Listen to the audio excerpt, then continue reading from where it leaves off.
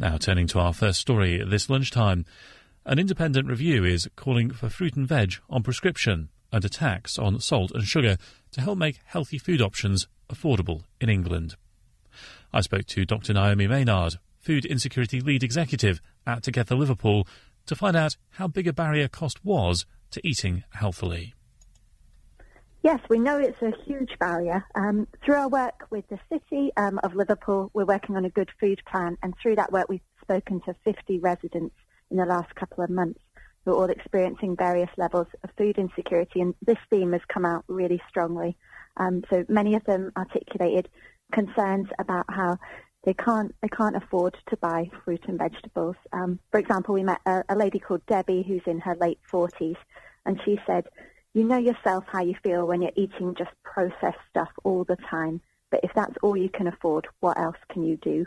And and that was something that we found echoed by voices of residents in our city, and and echoes a lot of research that's been done um, across the country recently. I think what the report that's come out today does really well is express that connection between um, cheap, highly processed food, so food that's high in salt and sugar, um, how that might make you feel fuller for longer. And when you don't have um, lots of disposable income to spend on food, you're much more likely, therefore, to buy that kind of unhealthy food.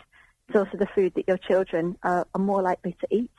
Um, and when you've not got loads of income to spend on things, you want to buy something that you know is going to fill them up. Um, one of the other things we've been seeing here in Liverpool, and, and it's true across the country, is that in areas with particular high levels of deprivation, um, they're m- more likely to be both what's called a food desert. So that means that there isn't lots of supermarkets or convenience stores where you can buy fresh fruit and veg in your area. Um, the walking distance might be too far if you're thinking with a mum with a buggy and a child in that buggy. They, they can't do a, a big shop. Um, they can't go very far for a big shop.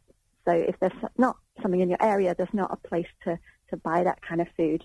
Um, but areas such as such as that are also often food swamps. That means they have lots of um, fast food, kind of takeouts, um, convenience stores, liquor stores, so places that are much more likely to sell um, things high in, in salt and sugar. So that makes it, it's just lots harder to find affordable, healthy food options in these kind of areas. And I suppose, Naomi, this report is really hitting home with the public um, at this particular point in time because we're aware, you're mentioning there areas of deprivation, and we're mm-hmm. aware, very aware, that uh, COVID 19 has hit hardest in areas of deprivation, whether that's the disease itself or whether that's uh, job losses or people being furloughed and the like. And, and then we're hearing this about uh, food availability, healthy food availability. Uh, the government is being urged to have a tax on sugar and salt to raise revenue to help uh, do things like extend free school meals. The food industry is turning around and saying, well, actually, what you need to do is tackle poverty, not bring in a new tax. Are they both right? Is, is one wrong or the other right? Does it need more than just one or the other to solve this problem? That's a great question, and I suspect they're both right. Um, I think what we are longing for the government to do is take really seriously the reasons why people are experiencing poverty. Um, it's, it's, reasons such as our safety net is just not strong enough at the moment. We want them to, to make permanent the £20 uplift. That's an increase to benefits that's been happening during the pandemic, but we know that's been vital for lots of families. Please don't take that away. But we also want them to look seriously at, at wages, um, campaigning for the real living wage uh, and to look at what living hours could mean. So we know lots of people who are in uh, food crises at the moment.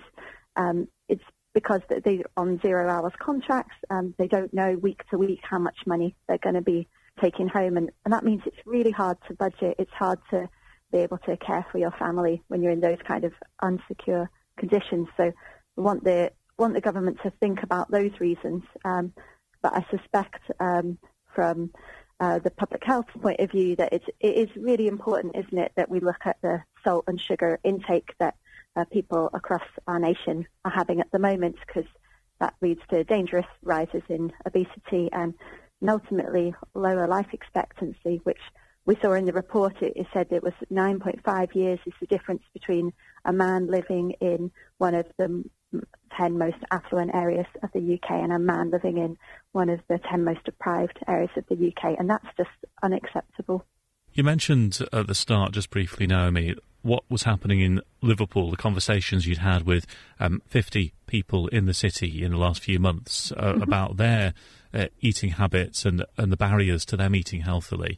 And I guess this brings us down to what we in our communities, what the church in our communities can be doing to help people with this issue. There's quite a few things that our local churches can be doing right now to help people. Um, so one of the recommendations coming through in the strategy is calling on the government to invest in infrastructure to create local community food spaces. That's spaces such as food pantries, food clubs, social supermarkets, community kind of growing and, and gardening spaces as well. Um, but actually lots of churches are, have already been doing this um, really well. What I'd recommend for churches right now to do is find out do you already have these spaces in your community? They might be, be run by your local community centre or another church down the road or another faith group? Can you partner with them?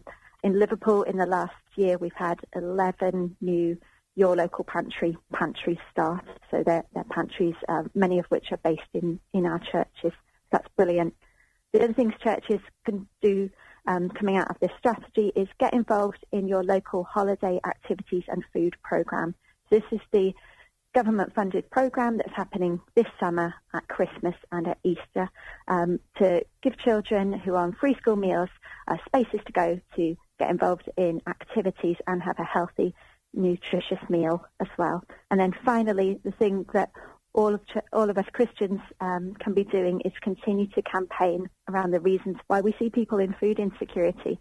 The strategy calls for the rise in the threshold for who receives free school meals this will make such a massive difference to millions of children. So we need to join our voices with the voices heard through this strategy. Dr. Naomi Maynard from Together Liverpool.